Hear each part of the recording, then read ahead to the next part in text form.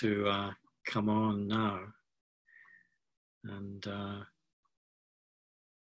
I'm presuming you can hear me. So um, let's kind of begin. So, very warm welcome to everyone. Thanks very much for tuning in, whoever is here and there. And uh, as you know, my name's Mike, Mike George. I have the honor of being uh, being your speaker this evening. I would have much preferred to have um, uh, jumped on a plane and come your way as was originally planned. But uh, as we know, 2020 is turning out to be a challenging year for everyone.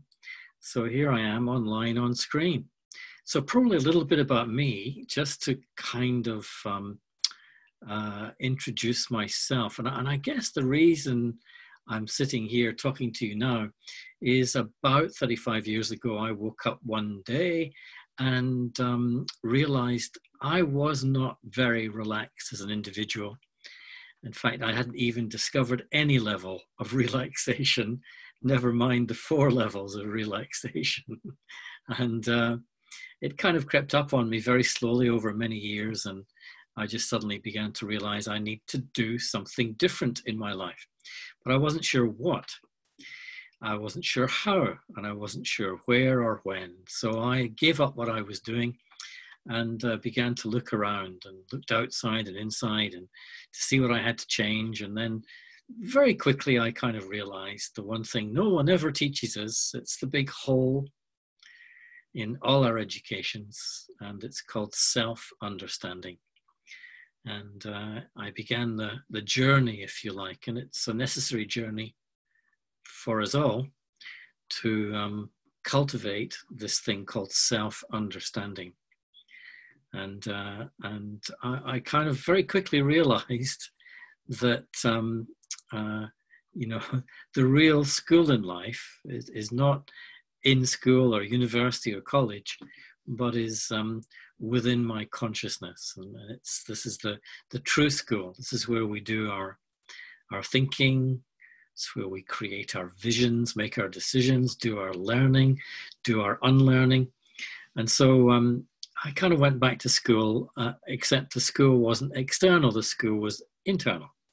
And that's where I've been ever since. And that's where I'll be for the rest of my life. So, to cut a long story short, about um, three, four years later, I started doing what I've been doing for about 20 years now, 30 years, I would say coaching, teaching, training, writing, lecturing, I have about 16 books out around this kind of subject area. In other words, um, the area to do with self understanding, self awareness, self management. And the purpose this evening is to kind of take you on a little bit of a journey and uh, explore what, what I've kind of come to call the four main levels. Not the only levels, but the four main levels of, um, of relaxation. And um, it's probably useful just to start to, to articulate what those levels are um, for me. And, and you may, you may uh, differ in your perspective. And if you do, and if you do have any questions, then please feel free to add them to the, the chat page as we go along.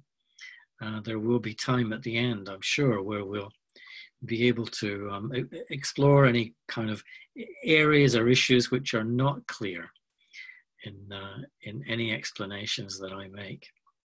But the four levels essentially that we're all challenged now to, to manage even more than before, simply because of what's happened during this year is the physical level, the mental level, the emotional level, and then what I call the level of the heart, which is really the self, the true heart. We have two hearts. We have one in our body, and then the heart of our consciousness, which is really me c'est moi, as they say in a certain language.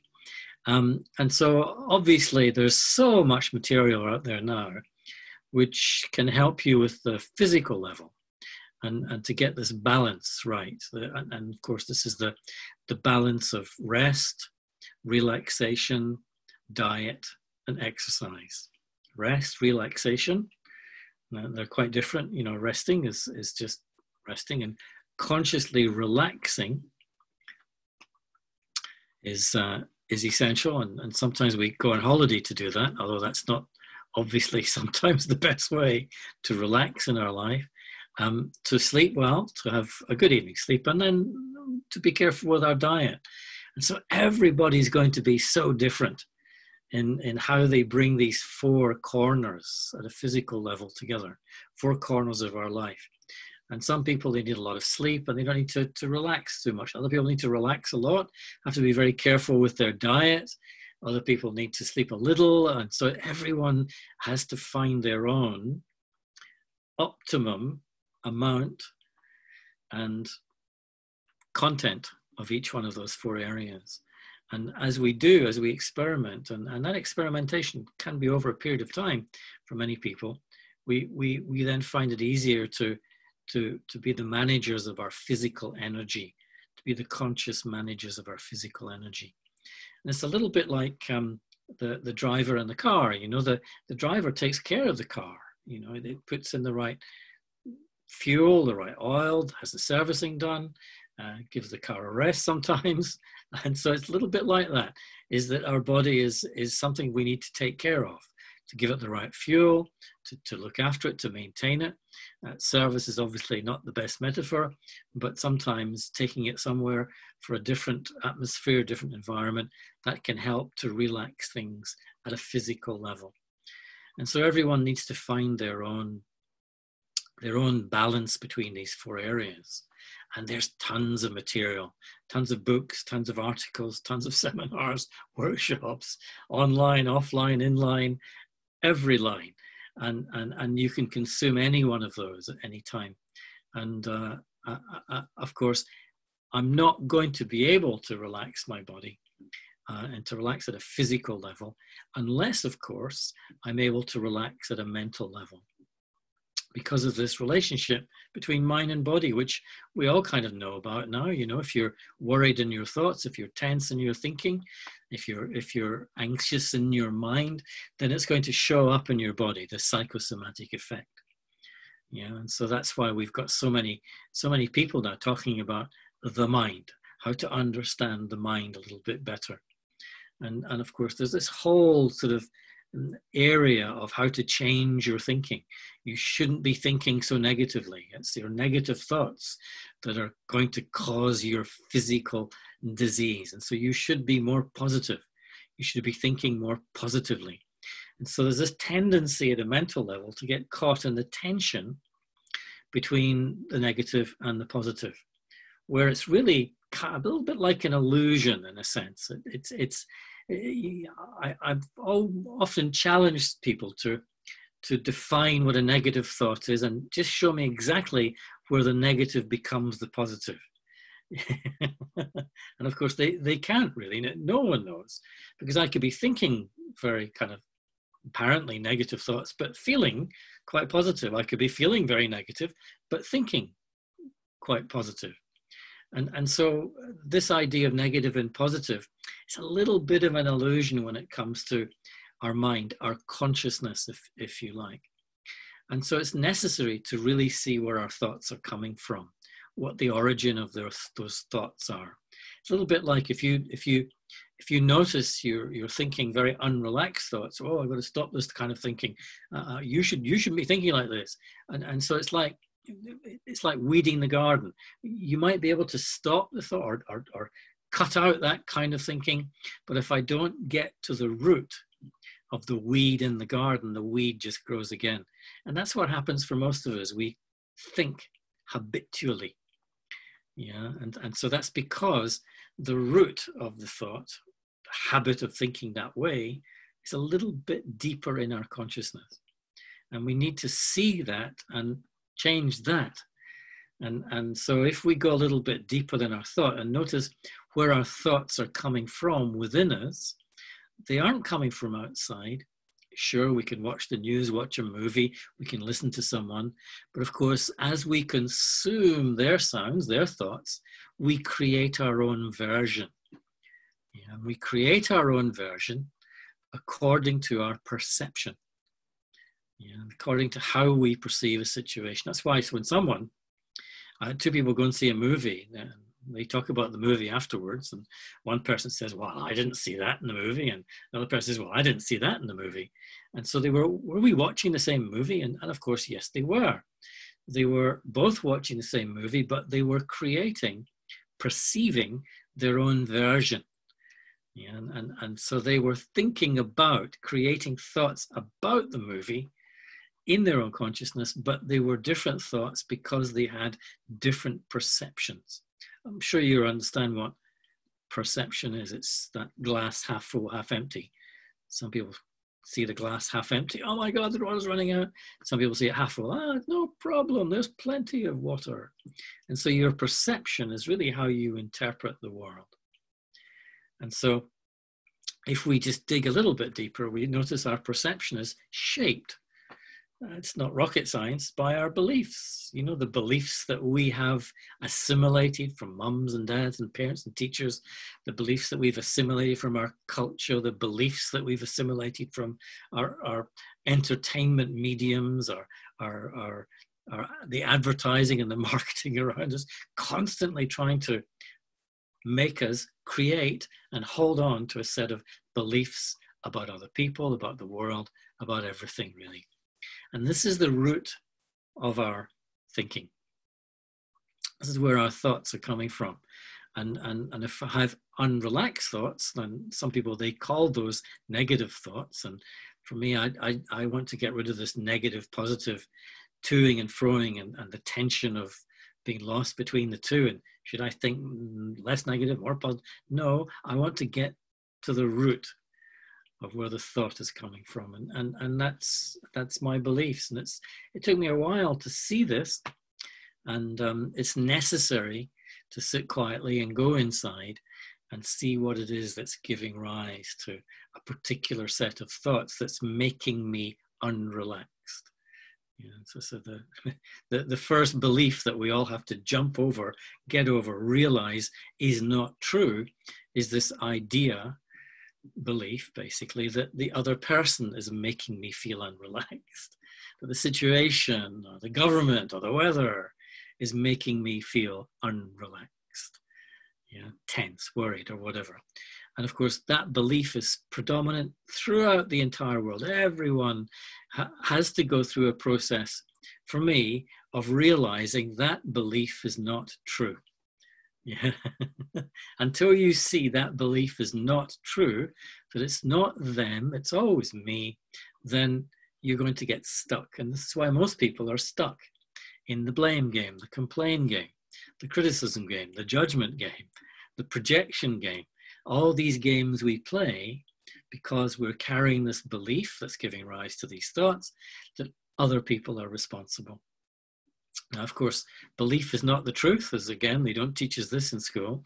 Um, belief is not the truth. Belief is an idea that I've, I've, I've grasped from somewhere, somewhere in the past, and I'm holding on to it. And I'm allowing that to shape how I think and maybe even act. But it's not the truth. You know, the truth about belief is in the word belief, in English anyway. I'm not sure about Italian or French or, or Spanish. But in English, belief is spelled B E L I E F. So when you're holding on to a belief, you are lying to yourself. The being, B, is lying to itself. Yeah. It's not that the content of the belief is, is, is wrong, but in the case of this idea of responsibility, who's responsible for my thoughts and feelings? Yeah, the content is inaccurate. Yeah, it's not true. And so I am lying to myself, but I'm not aware of it because I just keep going, that makes me feel, and they make me think, and they make me do that, they make me do that.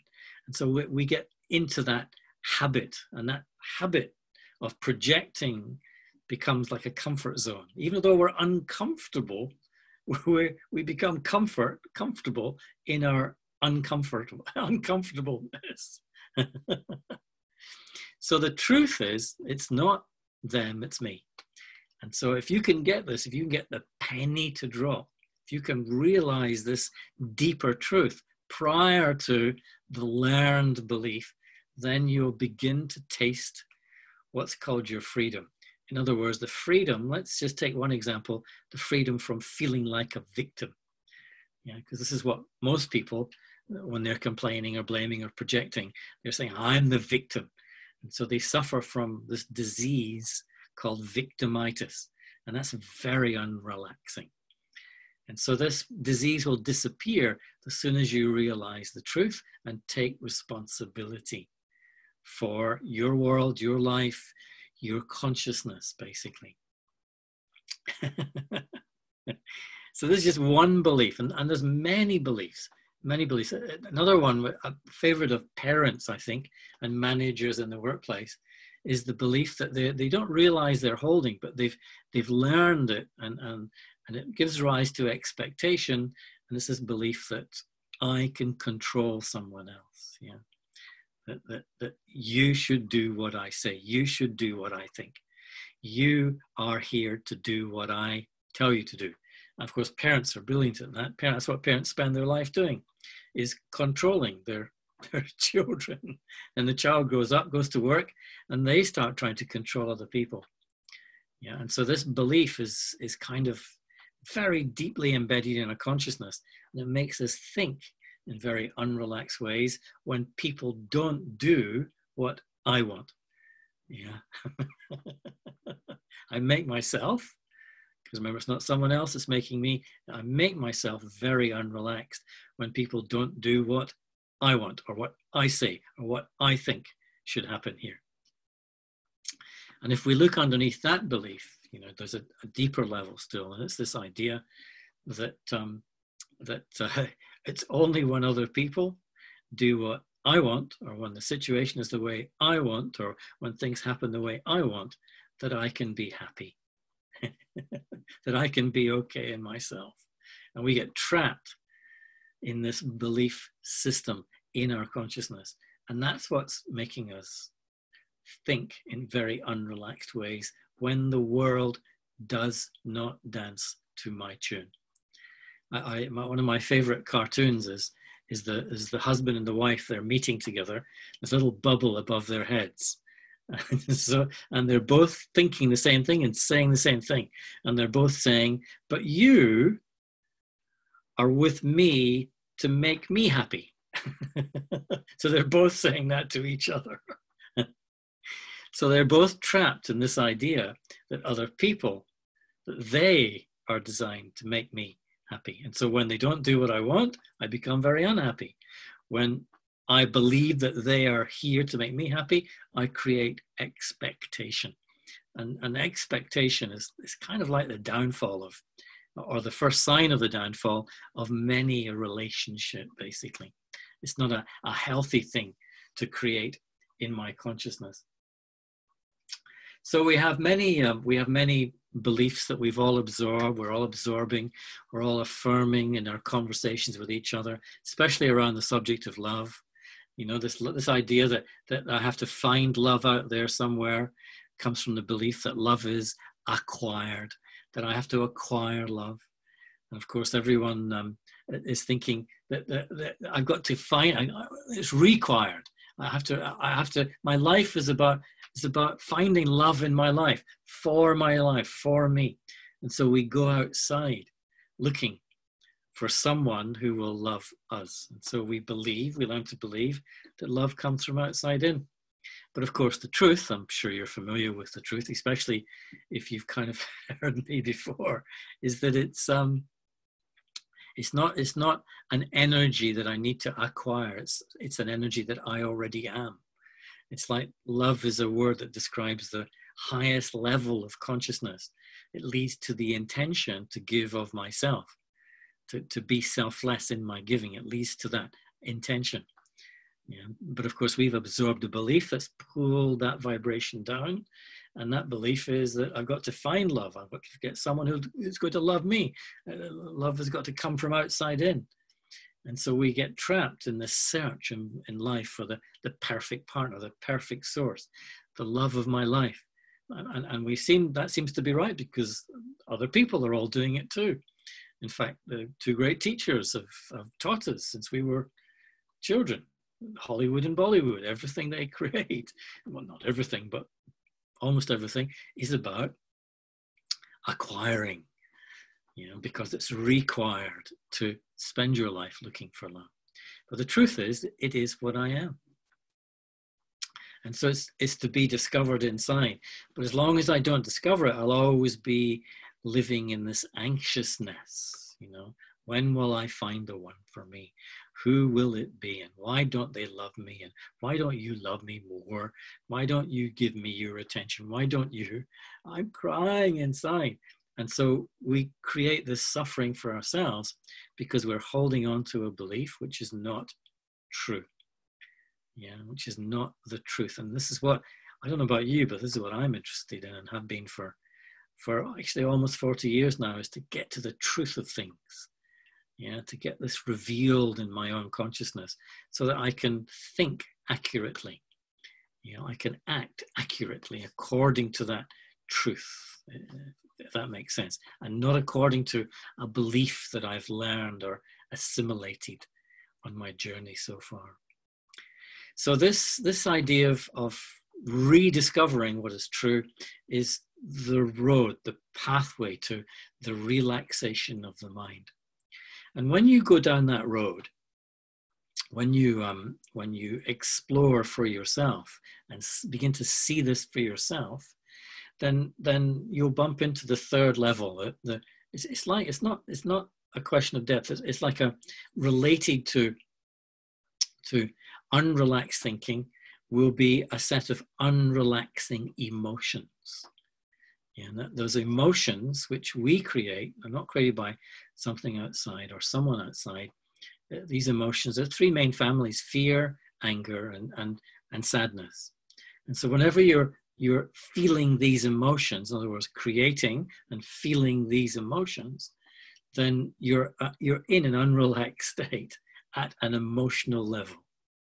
And the reason, if you look into it, it's a little bit deeper still, the reason that these emotions occur in our consciousness you know, is, is our own attachment to something or someone or some memory you know, it's, it, it, this is this is the the cause of all emotion, is is this idea of attachment.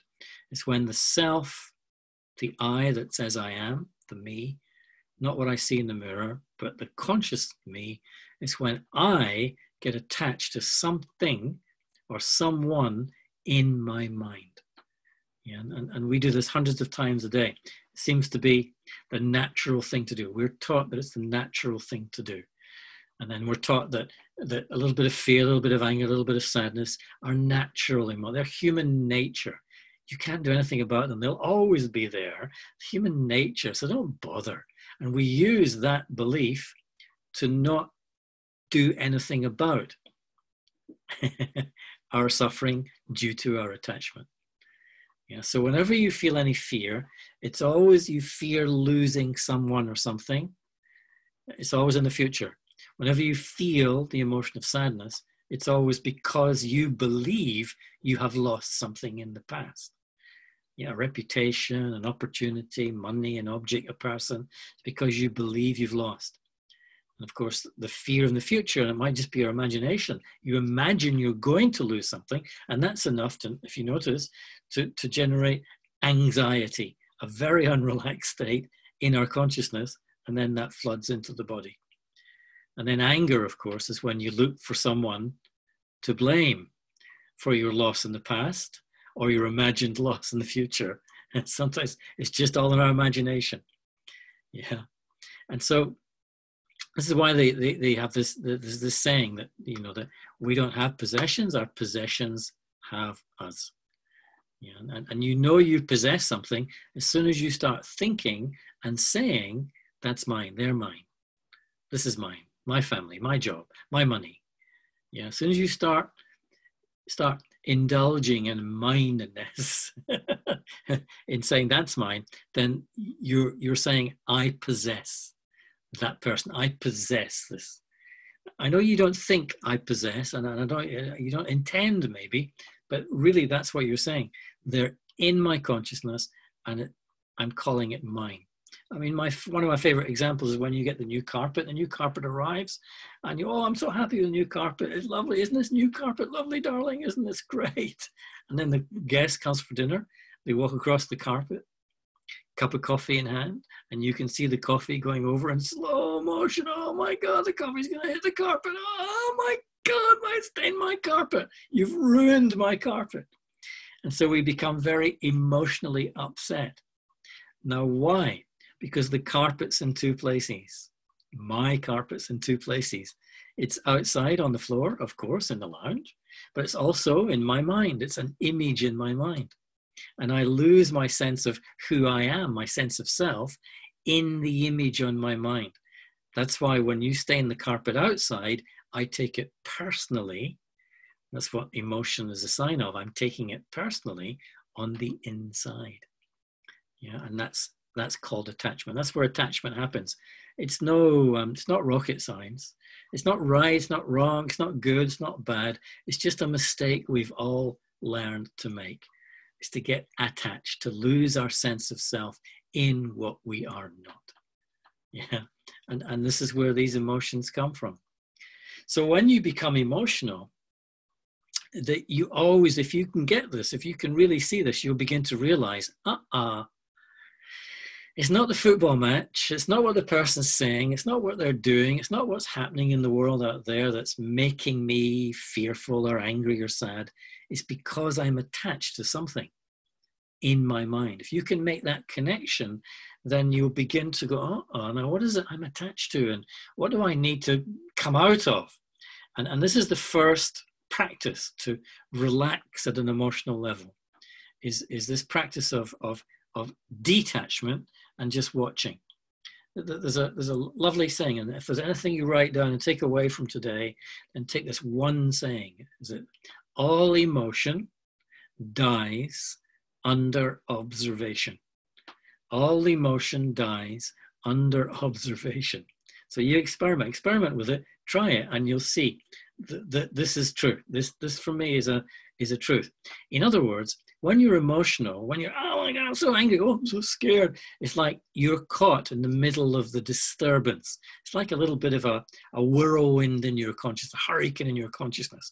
And if you detach from that and you begin to watch it, you come to the center of the storm in your consciousness, the center of your emotional storm. And when you come to the center of the storm, you always find your peace. You always find your power. It's always there. And, and the emotion begins to subside. And, and, and of course, even naturally, you can't stay angry all the time. You, you start laughing. If you try to, you start laughing after a while. You can't stay anxious all the time. Something will distract you and you'll get involved in something else and the anxiety will disappear.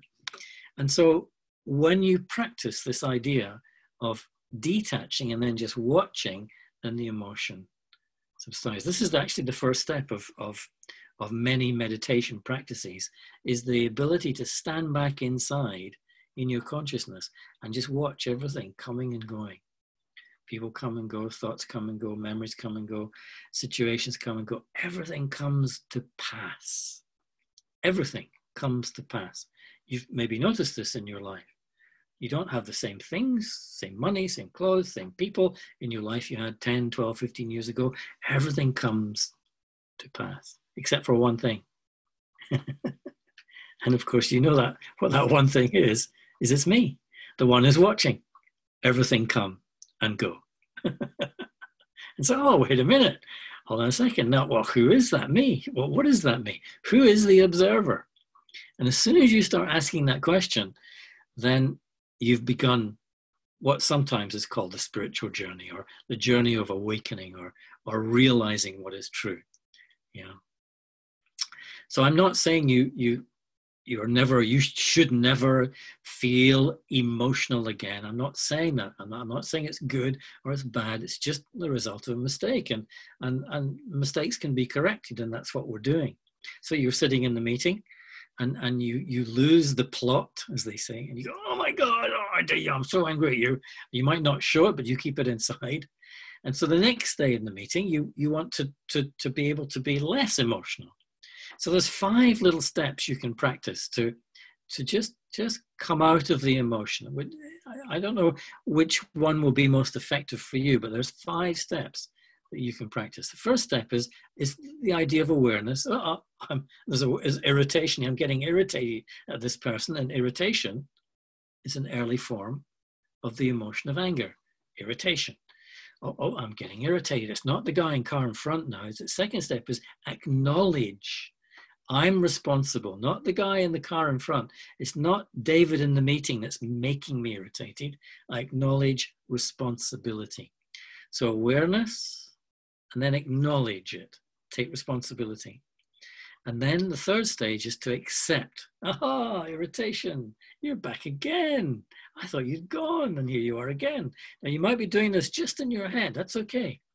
Or it might you've been doing it for five minutes, uh, last thing at night before you go to bed. It doesn't matter. It doesn't really matter where and when you do this. But these are five steps that will help you gradually not react emotionally. So the third step is accepting the presence of the the irritation. Don't resist it. Don't oh my don't think I shouldn't be I shouldn't be I shouldn't be resistant. I shouldn't be angry. No, because that suppresses it. But accept its presence, embrace it, look at it. Yeah. And then fourth step is ascend. In other words, detach and just look at it. And it will lose its power. It will lose its power. Yeah. And So ascending. You're already kind of doing the ascending bit in stage three, in the stage of acceptance. But then stage four is consciously ascending, just coming back to the center, coming away, detaching. Then stage five is to attune, to tune in. Yeah, tune into the center where you find your peace, you find your power, which is always there in your consciousness. Yeah, so the fifth stage is attune. And they've been doing that in the East for thousands of years. Yeah, it's called meditation. so if you learn to meditate, and this meditation is not something you just do, sitting quietly alone in a room in a corner. It's something you can do anywhere, anytime, in the car, in that, well, not when you're driving, but uh, in the office, in the meeting. In other words, you center yourself, you ground yourself in your own peace, in your own power, which is always there at the heart of your consciousness. Yeah. So this is the five little stages you can you can practice, which will help you to restore your relaxation at the level of your emotionality. Now, just one qualification on, on all of that is that maybe you're thinking this already, maybe you have this question already. It says, isn't, isn't love an emotion? I'm going to take my, my life in my hands here because I'm probably speaking to a lot of Italian people. and I'm going to suggest, suggest, that's all I want to do, is that love is not an emotion. Love is your natural state of being. It's a natural state. It's not an emotional state. It's a natural state. and, and just to qualify that is think about fear. Fear is the same energy as the energy of love. It's just your consciousness at a certain vibration, because that's where these emotions, these feelings of emotions, that they originate in your consciousness, not in your body, not out there, but they originate in you. So fear, whenever you feel fear, know that it started out as love, as a higher vibration, but then it got filtered through something you're attached to in your mind. Yeah, it got filtered through, distorted by into the vibration of fear, the vibration we call fear. So fear is love distorted by attachment. So when you learn to be a little bit more detached, then you'll notice that you're much more stable, much more naturally loving, caring, if you want If you want care is a better word than love. You're much more selfless in your giving. Yeah, but as soon as you become attached, then you start to close yourself around the attachment. And then you generate fear. Oh, don't want to lose it. Oh, don't touch it. Oh, don't take it away. And so we become tense and anxious. Whether we close around money or the house or the clothes or what we do on a Saturday night or whatever. And so I'm becoming closed around that idea, that image. And that's distorting my natural state of consciousness from love, lovefulness, care, empathy, compassion. It's stops me from expressing that energy through my behavior. And I get closed and I feel small and I become anxious, scared, if, if, if, you, if you know what I mean. So you'll start to notice this in, in your own your own journey if you want to if you want. Maybe you don't want to. Maybe you're actually quite comfortable being uncomfortable. You're quite enjoying your stress. At least you think you are until, that's what most people do. They tolerate their unrelaxed state that they create. They tolerate it for as long as they can. and, and then they go, oh, I've got to do something about this. I've got to change something. I don't know what it is, but that's, that's, how, that's what I was doing. So I tolerated it as long as I could. I tolerated the frustration and the anxiety and the, oh my God, I'm so sad. I tolerated as long as I could. And then it just got so intense that lasted for so long, I had to do something about it. And that's what kind of started me on really understanding uh, these dynamics that I'm explaining to you now. So the fourth level of relaxation, and really it's the primary level in, in, in as much that is that you can't relax properly at these other four levels unless you get this fourth level, the deepest level, unless you get this, this accurate. Yeah, and, and, and, it, and it kind of revolves, if you're taking notes, you might want to write down these three questions. It involves the getting clear in your answer to these three questions. And I can talk about them all night, but, but it won't make much difference until you see for yourself. If I don't just believe what I'm saying, but see if you can see for yourself. Question one is the oldest question, which all the philosophers bumped into down through the ages and said, this is the big question, and, and it's not new. And it's three, three, three words Who am I? Who am I exactly? Second question is what am I? and the third question is why am I here? so who am I? What am I? Why am I here? Yeah, and so these are the, I mean, they sound very simple questions um, just to, to, to utter them, but actually they take you into uh, very deep places within yourself if you're interested.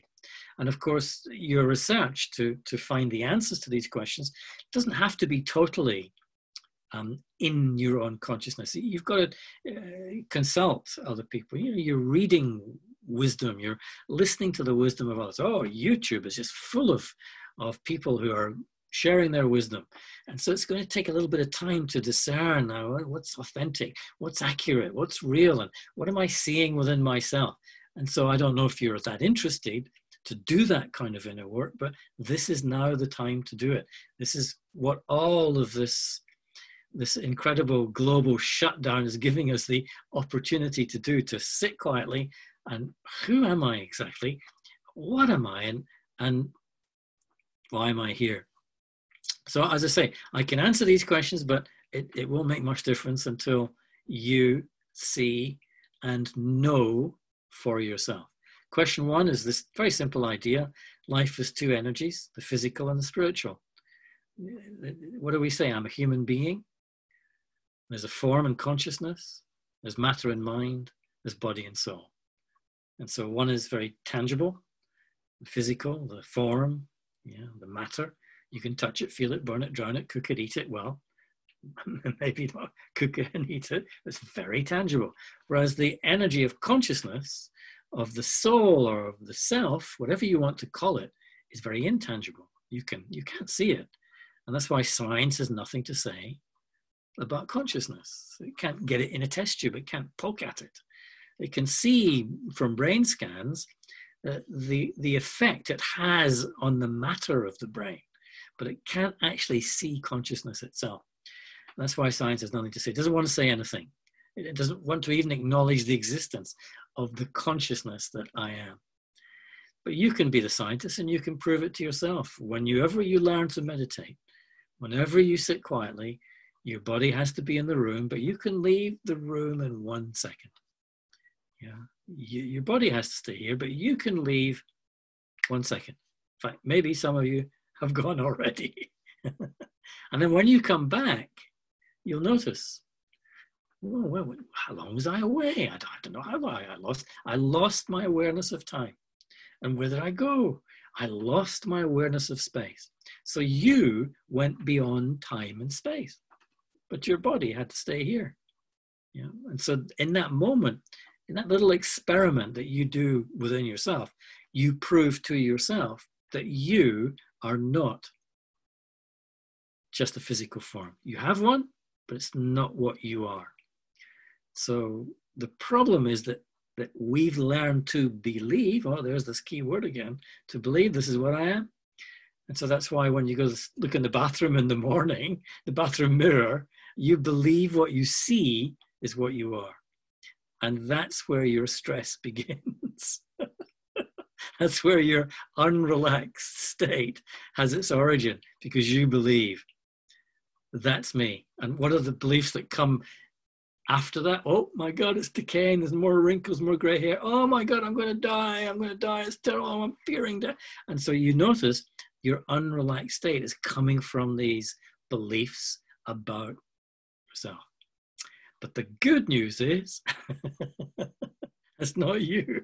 Isn't that good news? so you don't need to follow it with the actions, the most common actions. Um, in the bathroom in the morning, oh my God, oh, I'm yes, looking nice today. Now I can face the world. No, you don't need to do all that. Because that is to be under the influence of an illusion. Yeah, the illusion is that this is what I am. Yeah. so you can break that illusion and then really focus on yourself, the self, the spiritual, conscious being that I am. Yeah. Now, the, the only way to really get to know that is to take away everything that you've learned to believe you are and then see what's left. And if you notice, if you do that, then it's kind of like a process of elimination.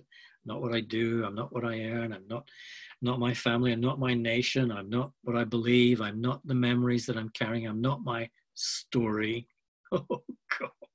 I'm not the objects in my life. All these things we we've learned to use to define ourselves, to, to build an identity for ourselves out of what we're not. And, and that's the that's the way the world works at the moment. And so when you take away all those things and notice what's left, then you'll notice that that who I am, I am no one. I'm nothing. Not nothing, but no thing. Yeah. And so wow, I'm free. This is called freedom. I still have those things in my life, but I've changed my relationship with them. I don't use them, I don't misuse them to build my sense of who I am anymore. It doesn't matter. I am. I am. I'm the I that says I am. Everything after I am is not me. so, once again, don't believe me, but see if you can see this for yourself. This takes a little bit of practice to see for yourself. And then you see your own truth about yourself. What am I? What's the most natural state? The most natural state which we all seek. Uh, everything we do is motivated uh, out there in the world. Everything we do, everywhere we go, everyone we want to be with, everything we want to have is motivated by one thing the great search for a state of happiness. when they come into my life, I'll be happy. When I get this, I'll be happy. A new job, I'll be happy. More money, I'll be happy. And of course, have you ever noticed that as soon as you search outside for happiness, you're guaranteed to make yourself unhappy, agitated, unrelaxed. when am I going to get more? And oh, I don't want to lose this. And so you're going to be creating very unrelaxing emotional state. And that's because the truth is it's already here. You know, you all know this, I'm sure. You know, happiness is an inside job. It has to come from inside out and, and, and that happiness is sometimes called contentment. You know, it's the shift from the hedonic way of life, you know, when the, hedonist is always looking for the next pleasure because they believe that's the only happiness when they're pleasured, in other words, stimulated. Whereas the shift into the eudaimonic life is the individual who's discovered that feelings of fulfillment and meaning only arise from inside when I give of myself, when I give to others selflessly. Yeah, and so they've discovered this sense of fulfillment and satisfaction and this deepest contentment within themselves only occurs when they give, them, give themselves away.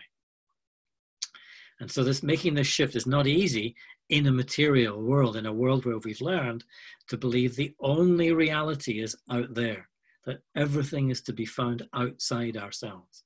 When we learn that belief, that makes us live according to the material paradigm. But the primary reality is our own consciousness. You know, it's, it's this huge world that we occupy within ourselves, the world within, not the world without the world within. And that's what's missing from human relationships today at, at every level. Yeah. and so then the final question why am I here? In other words, what's the purpose of life you know and, and, and the simplest answer is for me this is just for me you'll arrive at this in your own way in your own time simplest answer for me is the purpose of life is to live is to live but then that naturally gives rise to a curiosity a kind of curiosity a natural curiosity which is well if the purpose of life is to live how should I live? Yeah. and and to to make decisions about how you should live, it's necessary to understand the quality of your own being. Yeah. In other words, to understand yourself with greater clarity so you can see what you need to create for example, let's say um, in you've got five different relationships, and one minute you're going to create patience for towards this person. Next minute you, are going to create compassion towards this person. Next minute you're going to create forgiveness towards this person, and so you're going to be in that moment compassion. You're going to be forgiveness. You're going to be, in other words, that's what you're expressing. That's what the highest state of consciousness you're creating in your relationship with that person. And as you do that, as you create and give that to whatever relationship that you find yourself faced with, and you notice the quality that that is the highest quality uh, that I can create my life at in that moment. You know, it would be nice if it was all fixed and just straight through, and we can just create one quality of being, and then it's just no, because life has variety, different people, different relationships, different situations. Sometimes it's called the dance of life. In, in India, it's called lila or play. it's like as if we're in a play. And so we get to play. In other words, when kids are playing, they're incredibly creative. So when we see life as a play, as an opportunity to play, we become quite creative. And then the quality of our creativity becomes deeper and deeper and deeper. You know, but as long as you believe that they,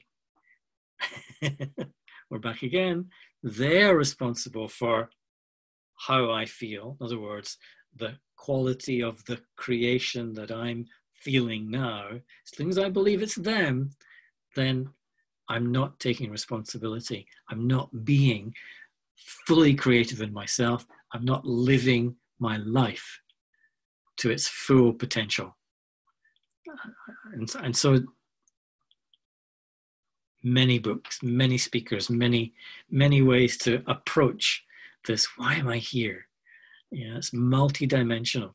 And, uh, and, and so I would recommend you take the time out to, to research, to search for clarity. And, and it must take you inside yourself. Must bring you back to you. So, four levels of relaxation the physical, the mental, the emotional, and what I call the, the level of the heart, because that's what we're talking about here is the heart of, of, of ourselves. Yeah, our natural feelings. What are our natural? What are your natural feelings from the heart? Emotions are unnatural. They are disturbance. They're wasting our energy. They're flaring outwards and then they come back in. And what's my natural feeling on the inside? So the physical, the mental, the emotional, and some people say the heart, other people call it the spiritual or the territory of consciousness. These are the four levels at which we can, and some would say we need, to find our own relaxed, most relaxed state. And that's the challenge of sometimes called the spiritual journey. So I'm going to stop talking now, and uh, that's enough from me. That's far too much for me. Too many ideas. And uh, let's see if there's any questions. Um, uh, uh if anyone has any questions. Um, just checking in with the chat page here, and I see absolutely no questions. so if anyone would like to ask a question, feel free to to um, to put it up on the chat page, and I'm very happy to. If anything, anyone would want to say or share anything, or you disagree with anything that I've said, uh, once again, you can you can put that up there. I can't believe that, that if I'm talking to to Italy, um, although there aren't that many participants, I can't believe you're so shy you would not um, say something. there are questions in Italian. Okay. So then uh, uh, that's James, to everyone. James, would you be interested in translating um, any Italian questions and then um, placing them in, in English? And at least they would provide some clues as to to where I need to go.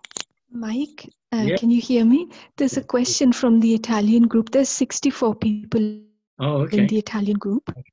And uh, they say, when uh, will we be publishing in Italian your book, Being Yourself? I don't know. You'd have to ask, um, I think, Antonella about that. She's uh, in charge of the, the translation. It's kind of holding in translation. It's um, I don't know if it's finished or not, um, but you'd need to ask her for an update on that. One day, I'm sure. It's good. Someone's raised their hand. Dominique Rosas has raised their hand. So Dominique. Uh, yeah. Hello, good afternoon. Uh, it's been very nice to, to listen to you um, very, very interesting. And uh, uh, I really enjoyed your sense of humor.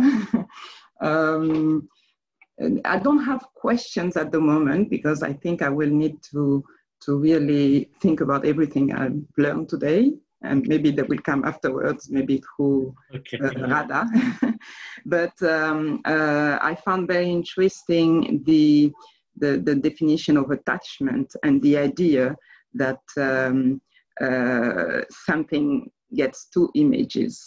So the real image, the physical image, and the um, the, the image I have in my mind. So the way I am I identify myself to the to the to the object, to the thing, or to the person.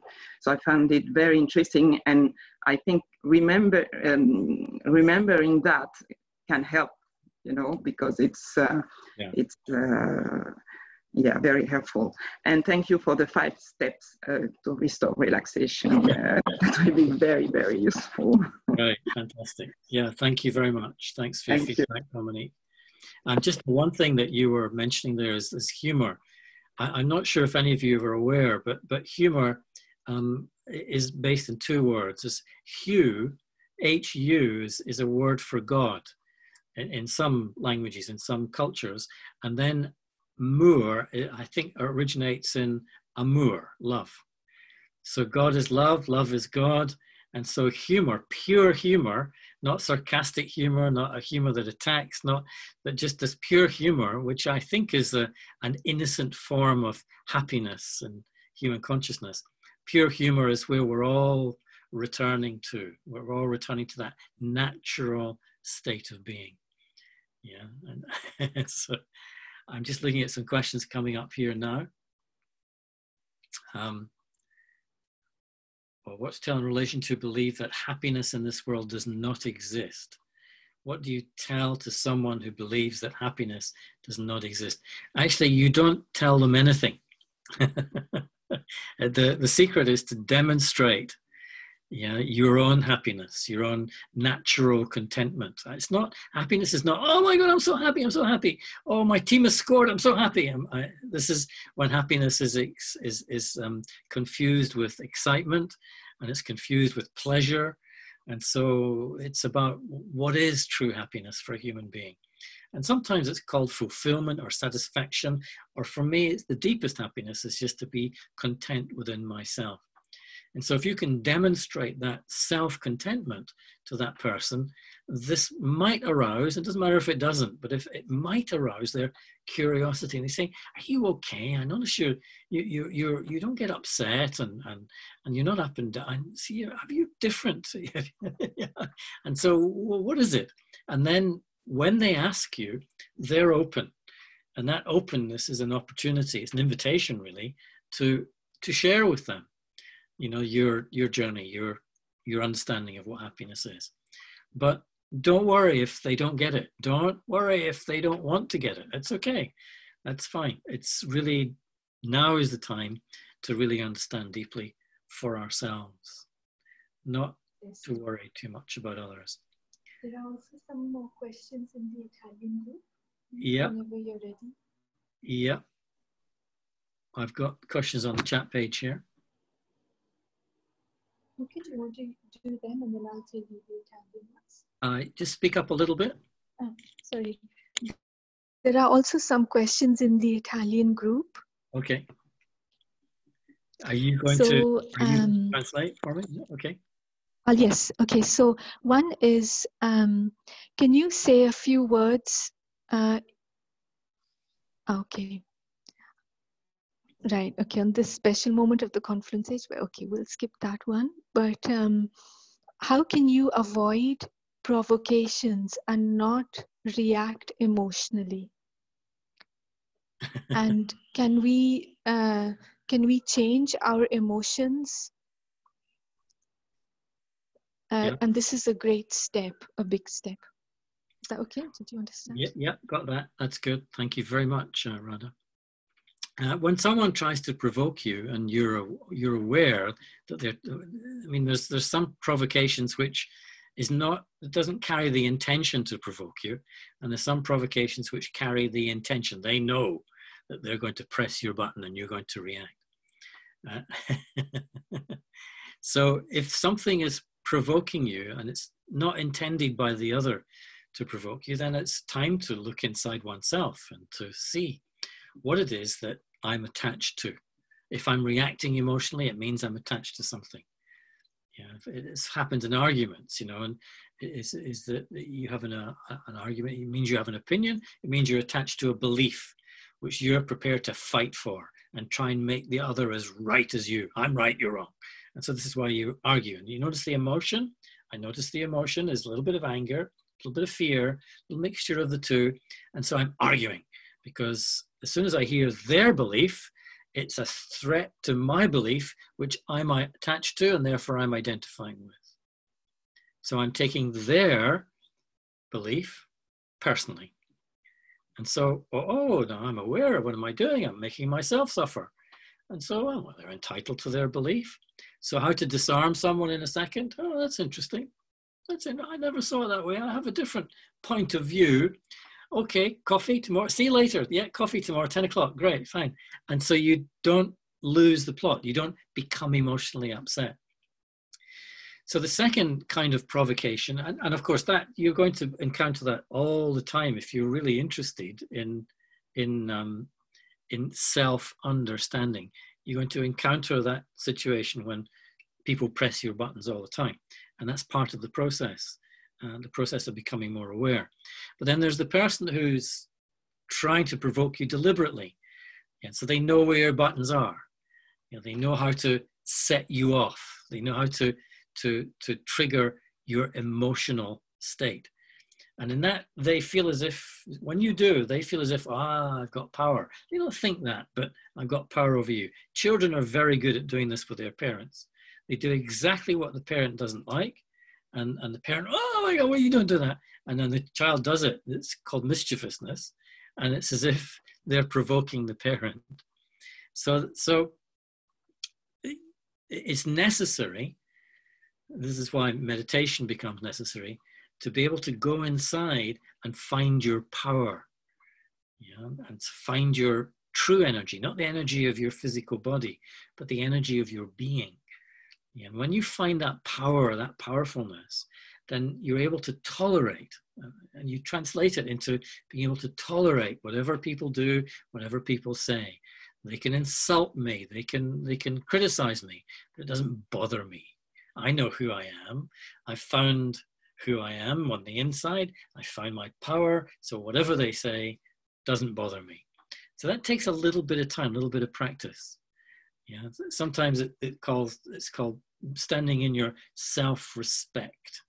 Except that you can't respect yourself. You just have this knowingness that I'm strong enough. I have the strength, the inner strength, not the physical strength, but the inner strength to be able to tolerate whatever is thrown at me, whatever situation, words, insults, whatever comes to me. Yes, and so so that just takes a little bit of practice, and that's why it's necessary to come back to the center uh, regularly in, in your meditation or your contemplations. And then the third the third answer to the question is that when someone's throwing uh, criticism or what we, we would call negativity at you, then you just remember that they are making themselves suffer first and they're projecting that suffering onto you. Yeah, and, so, and, and so when someone is trying to upset you, it means they're upset on the inside and they're trying to project that onto you to get them to, to get you to be upset too. Yeah, and so if you understand they're making themselves suffer, oh, okay. So instead of being defensive and condemning them for doing that, can you turn your energy into understanding and compassion? Know, that's the shift. Yeah, and so, so when you understand and you have compassion, whatever they do doesn't bother you. They know that they will benefit from the energy you're able to give to them to help them calm down, to help them come out of their suffering, to help them come out of their negativity. So that's a little bit further down the road, but it's possible. And that's where I want to get to eventually to be strong enough to tolerate and then to be able to, to, to be compassionate in return.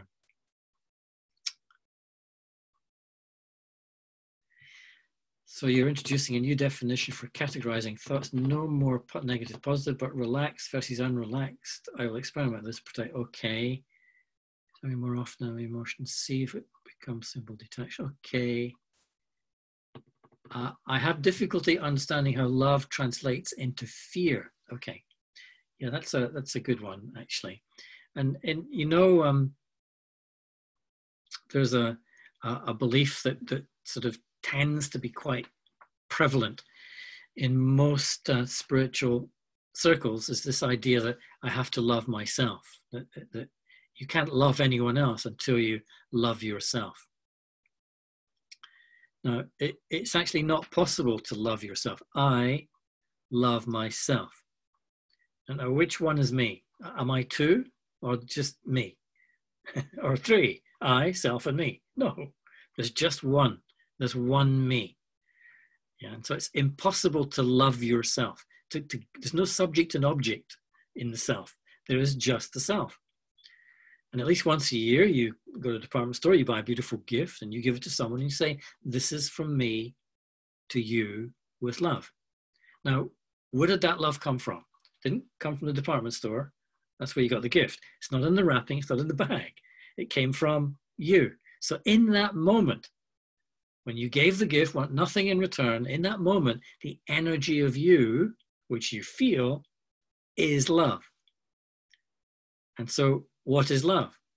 Love is what I am. So, when you are being in that state, that loving state, the last thing you're thinking, I need to love myself. you're it. It is you. And so it's just a word that describes your highest state of consciousness. And the highest state of consciousness, sometimes called selflessness. Yeah, in other words, you're not concerned about getting anything in return, about having your desire satisfied, but you're here to meet the needs of others, to satisfy others. Mothers and babies are the closest you kind of get to this. And you know, the mother will sacrifice everything, she'll give everything, she'll be there and she'll she'll just give, give, give, give, give to this innocent young child for so long. so the child puts on its first pair of trousers and then ah, you should do what I say. And then the love disappears. But anyway, this is our highest state of consciousness when we're in a loving state. Now, when you're in your loving state, you'll notice you're free inside. You're free. You don't want anything in return. There's no worry that you're not going to get what you want because you don't want anything. There's no anxiety that you're going to lose anything because you're not attached to anything on the inside. You're just giving selflessly your energy, the energy of your consciousness through your form, through your behavior. But as soon as you become attached to something, as soon as you want something, you've already got it. I want the new car, I've already got it, it's in my mind. So I'm losing, oh, I'm driving my new car in my imagination, in my mind. And then I'm fearing that I won't get it in reality in the garage, in the driveway. I'm fearing. And so I'm fearing that won't happen sometimes we get this with with oh i've got an interview tomorrow oh i'm not going to get the job oh i'm sure i'm not going to get i hope i don't get the job I, i haven't even got the job yet and i fear losing it i haven't got the job yet but i'm already attached to the job the idea of the job in my mind in my mind and so the energy that started out as the pure free highest vibration radiant energy of self consciousness started out but it got blocked it's been blocked on its way out into the world, into relationship, is blocked by that's mine, this is mine, my job, my car. Uh, and so it's blocked. I got to hold on to that. And so the vibration comes down. And as the vibration comes down, it, it, it changes. It's pulled down, it changes into what we call fear. We feel fear, anxiety, worry, tension, panic. They're all different forms of fear. And we feel that. And then we say, Oh, I'm so anxious. I'm not loving when I'm anxious.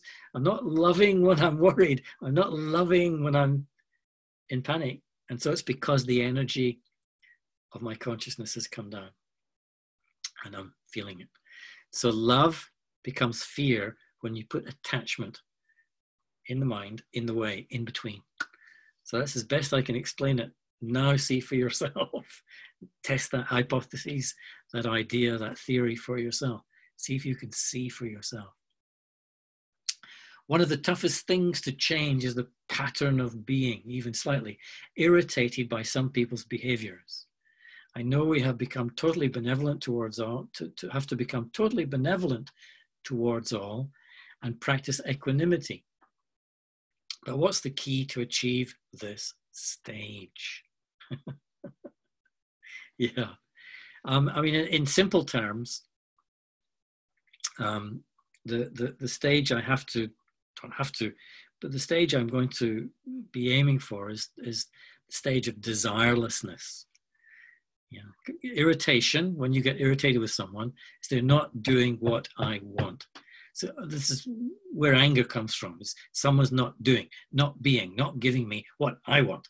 I get very angry. And so irritation is an early form of anger. So I get irritated with someone because they're not doing what I want. They're not laying the table the way I want, and they're, they're not driving the way I believe they should, and therefore I want. and so it's because I want something, I desire something. Yeah, and, and so what, yeah, well, God, blimey, there's a challenge, isn't it? To live a life without desire. Yeah, wow. I mean, this is not new, this is ancient wisdom. But you'll begin to join the dots and you'll see your irritability is coming from your own consciousness because you've got an idea of what they should give, should be, should be doing in your presence for you. So you begin to see it in you. And so now let it go. They're just doing what they're doing. He's doing what he's doing. She's doing what she's doing. Let them live their life allow them to be.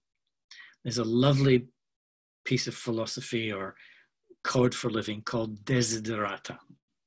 And you can Google it, desiderata. And in desiderata, it's got this lovely piece of wisdom, and, and which is easy to speak, but challenging to put into practice. And that is to accept that whatever is happening in the world is what is meant to be happening in this moment now, which is always in the past. It's always in the moment just gone. so acceptance is, is a secret. Yeah. And everyone is doing what they are meant to be doing right now. so it's also one second later, it's always a second later. So it's always in the past. So I always accept what has happened, what people have done, what events have occurred. I'm just accepting. That's all. I'm just accepting of everything. And so if you accept everything, then you don't become irritable. Now, acceptance, so don't careful, it doesn't mean I agree with everything you have said. It doesn't mean I condone everything you've done. Yeah. but I accept it's in the past, can't change it. And so that acceptance helps me to not be so emotionally upset, what you call irritability. It's an emotion, early form of anger.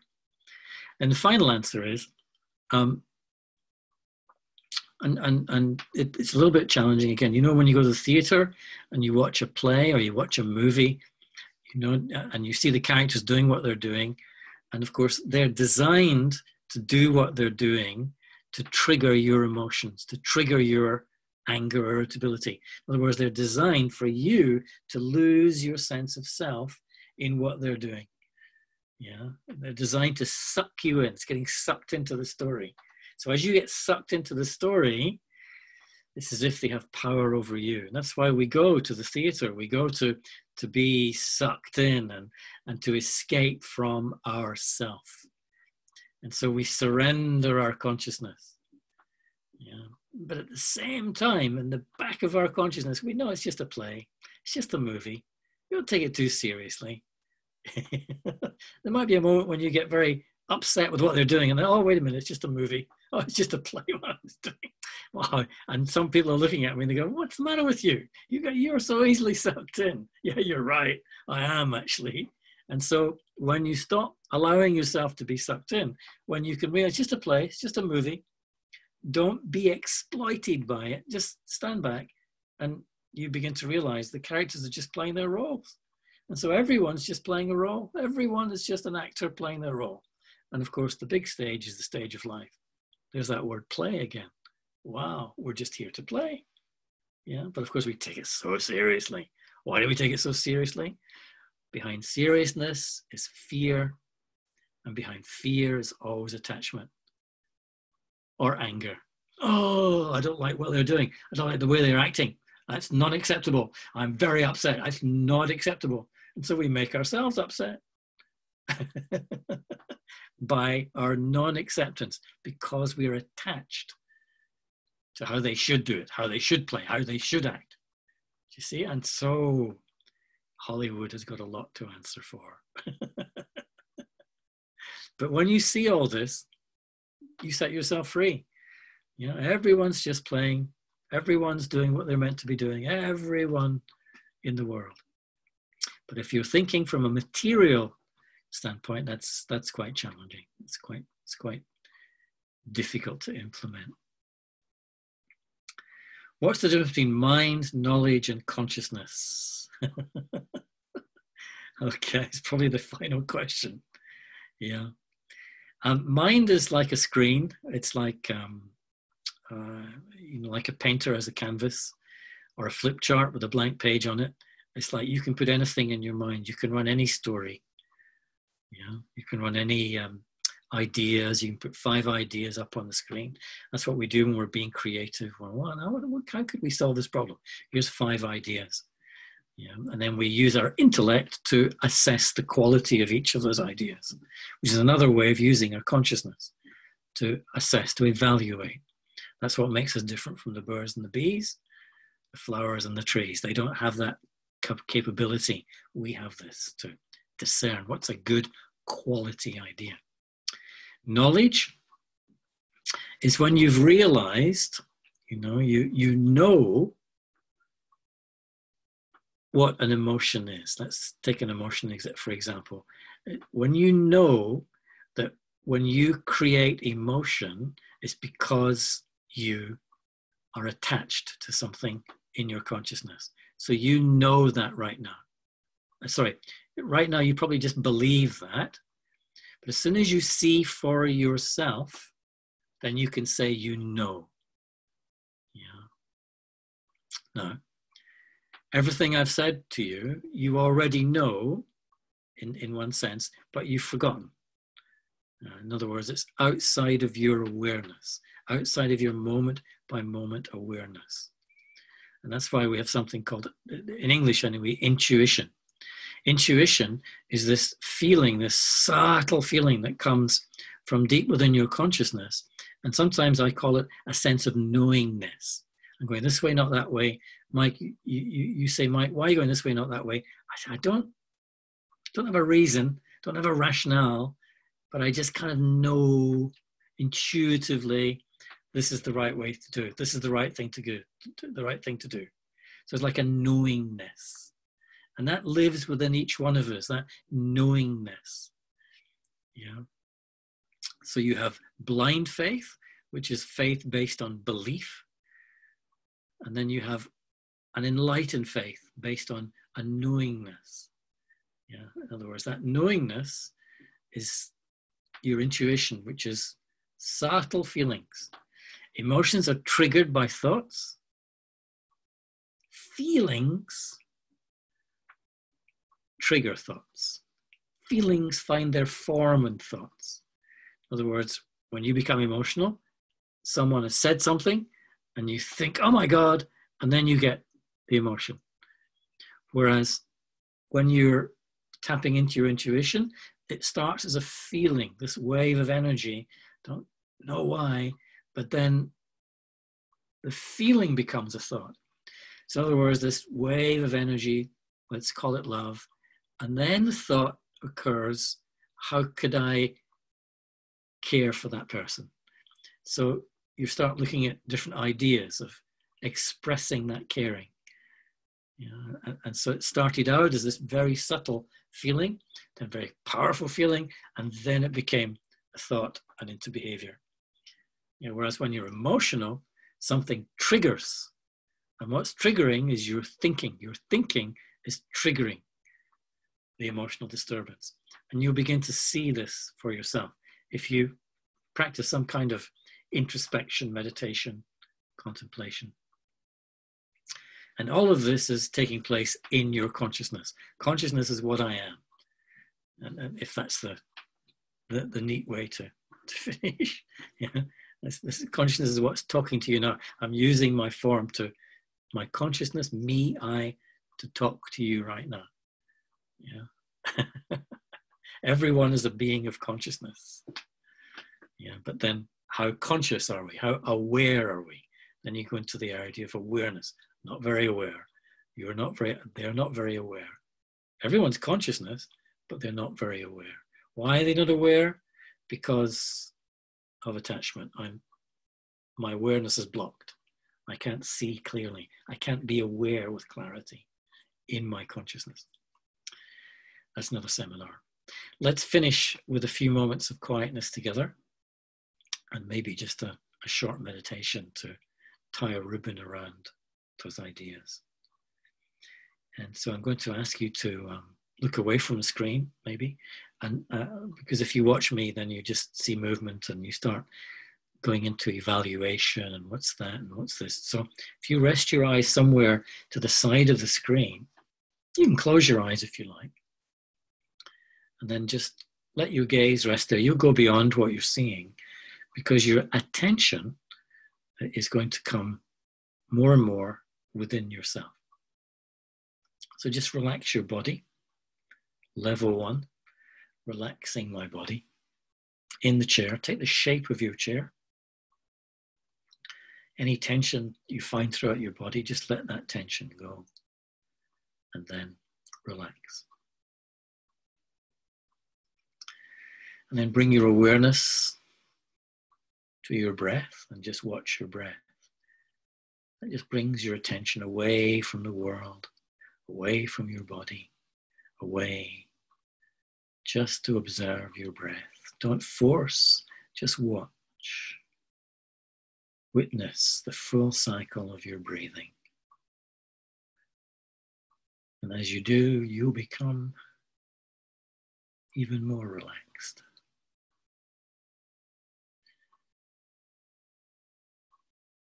And bring your awareness to yourself. See if you can be aware of yourself being aware.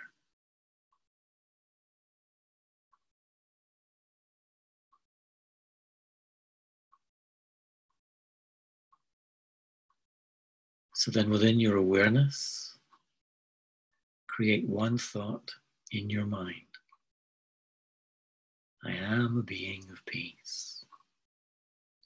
I am a being of peace. Let that thought roll across the screen of your mind, but very slowly.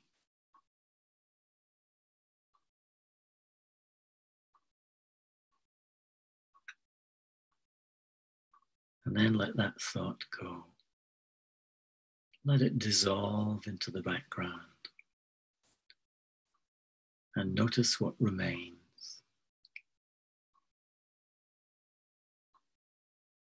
There's a feeling of peace.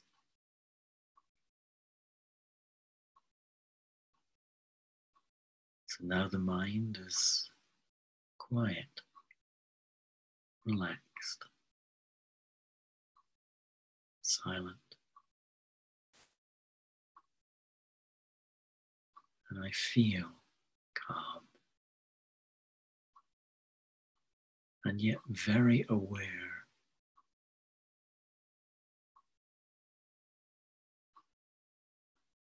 Aware that there is a stillness here at the heart of my being.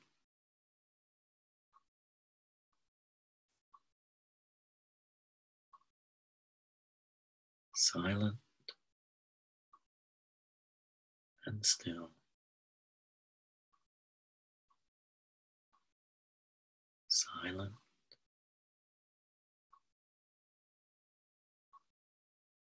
and still.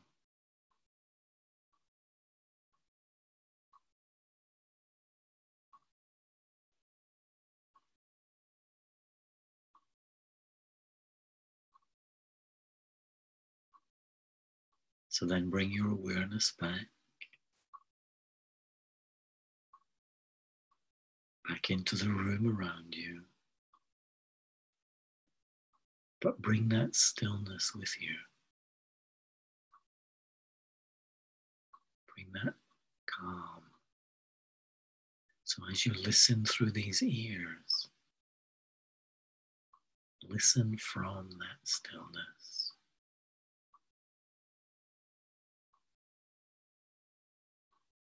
As you look through these eyes.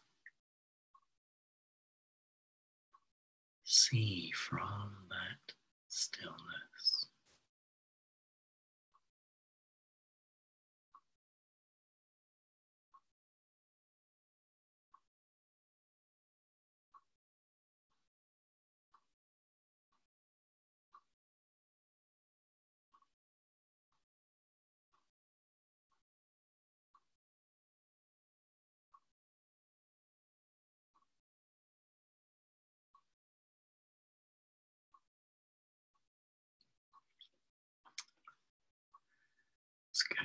So, thank you very much for tuning in. Thank you for playing. Thanks for your questions, your comments. There's a lot of questions there now. And so, uh, I hope there's something you can take away. And, um, and I think, Radha, the final word is for you. Yes. So, my thank you, thank you from the bottom of my heart. I think, on behalf of everyone and uh, really the clarity that you have and that you share with us is really I think it's a big, big gift. So everyone, I think a lot of people appreciate the way you share and what you share. So thank you for your practice. Thanks very much. So thanks once again, and uh, good luck on the journey, and good luck on your travels. And see you next time.